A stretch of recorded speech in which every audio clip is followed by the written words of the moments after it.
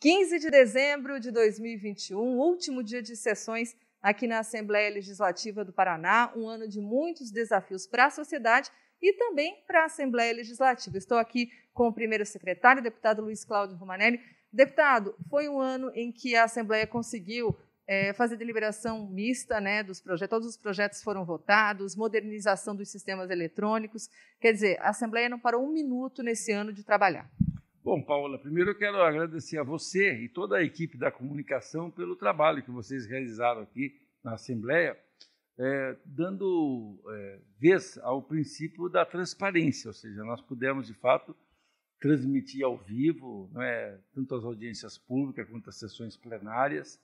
É, isso fez com que a população pudesse acompanhar é, de forma muito atenta a todo o processo legislativo de 2021 e todos nós sabemos, foi um ano de enormes desafios. Né? Nós iniciamos o ano com uma expectativa grande que a pandemia poderia estar já numa fase de maior controle.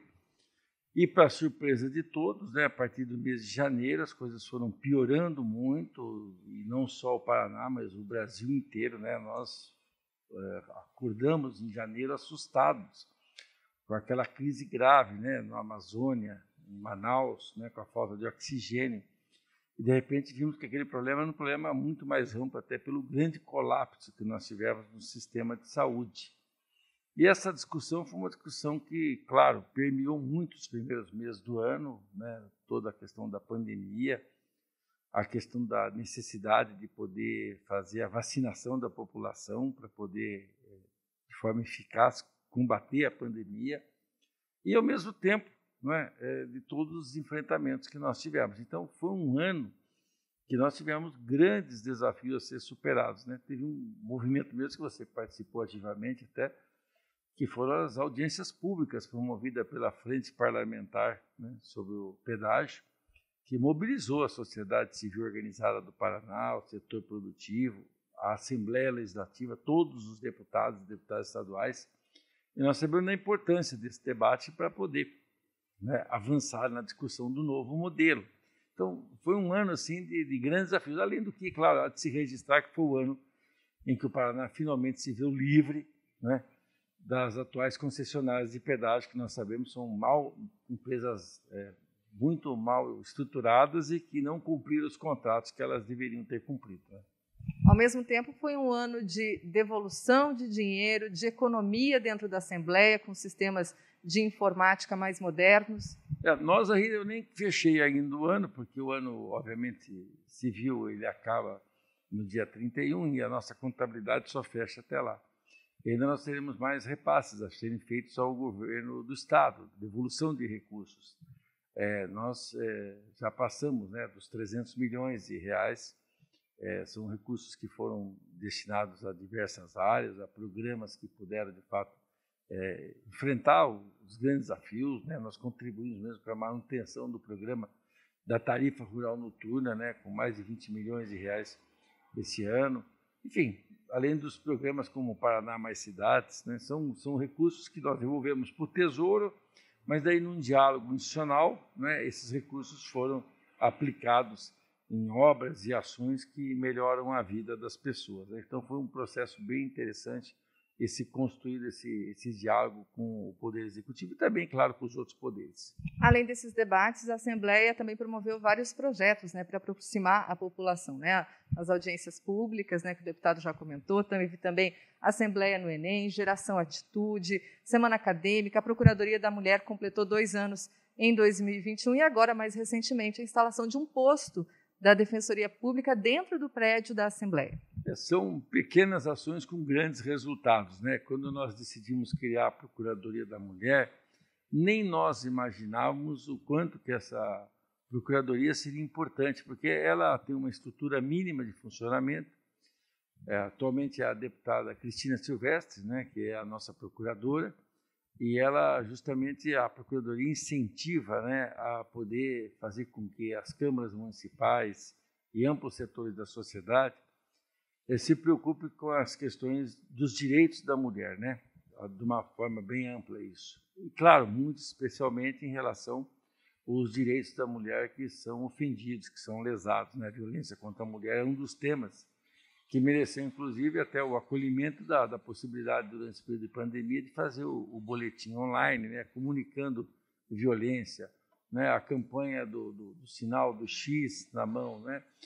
Todas as campanhas, inclusive, que nós fizemos, é, publicitárias, foram todas elas de interesse público. Né? Aqui nada foi para promover alguém, ao contrário, foi sempre para demonstrar o trabalho da Assembleia Legislativa e, ao mesmo tempo, né, tratar de temas sensíveis para a população é, paranaense. Né? E, nesse caso específico da, da violência contra a mulher, é, é um tema que a gente sabe, né, muitas vezes, né, uma mulher está dentro de uma casa e ela tem um monstro do lado dela e ninguém enxerga o monstro, né? só ela sabe com quem está vivendo.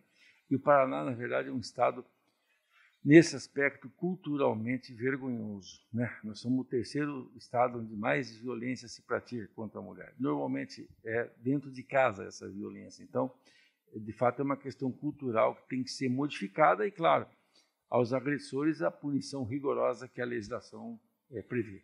E sobre a defensoria, pouco tempo de instalação do posto e realmente muitos atendimentos. É, nós éramos para ter instalado a defensoria pública aqui, um posto de atendimento já, mas aí a pandemia acabou atrapalhando nossos planos.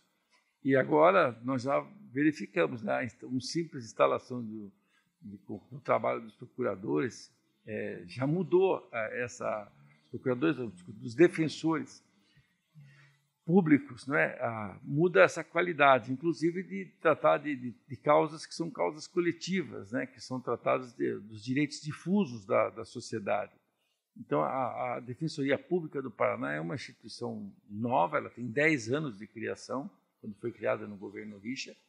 Eu tenho tido uma boa parceria, inclusive como deputado estadual, né, representando os temas que envolvem a Defensoria, e para nós aqui foi uma grande conquista e com muito resultado, né? ou seja, é impressionante a demanda que tem é, via a defensoria, com, com, a solução de vários temas. Para nós é um, uma satisfação que essas coisas tenham caminhando tão bem assim. Né? Deputado, e que venha 2022 agora. Olha, nós esperamos que 2022 seja um ano muito melhor que foi 2021. Né? A gente tem que reconhecer que foi um ano cheio de tropeços, muito difícil, né? Como eu disse, vivemos a fase mais aguda da pandemia. Ela só começou a, diminuir a intensidade após né, que, felizmente, a nossa população tem o hábito da vacina, então as pessoas foram se vacinar. Né? São meia dúzia de negacionistas que se recusam a tomar vacina, mas a gente sabe, a vacina é que salva a vida das pessoas. Eu mesmo passei por essa experiência, né? Felizmente estava vacinado, contraí a Covid, fiquei até internado, mas felizmente me recuperei. Né? Então, a gente sabe que é, a, a, vacina é a, a, grande forma de proteção. Além do que, né, a, da utilização das máscaras, dos cuidados todos que a gente tem que ter, porque a pandemia, infelizmente, ainda não acabou. E a gente está vendo na Europa, nos Estados Unidos, né, um certo agravamento já com outras variantes. Então, a gente vai ter que se cuidar e aprender a conviver com isso mas a Assembleia Legislativa não pode parar. Aliás, nós nunca paramos de trabalhar. Em 2020 a 2021, nós é, cumprimos rigorosamente tudo que previa o nosso calendário, como você disse, com a criação, inclusive, para 2021, de um sistema híbrido, né? ele é misto, porque parte dos deputados ficam no plenário, outra parte fica nos seus escritórios ou ainda nos gabinetes parlamentares tudo por recomendação do nosso serviço médico. Nós temos tomado aqui todas as cautelas é, relativas a isso. E quando formos reabrir em, em fevereiro, nós também tomaremos uma série de cautelas para preservar a saúde de todos.